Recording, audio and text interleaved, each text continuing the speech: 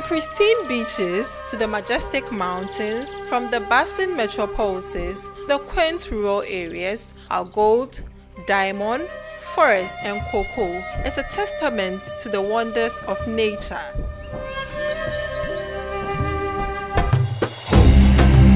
My name is Angela Apia Eshun and I'll be representing my beautiful country Ghana at the most prestigious international pageant Miss Intercontinental at Sharm el Sheikh and Sunrise Resorts in Egypt. This opportunity is a testament to the dreams, aspirations and diversity that defines our nation.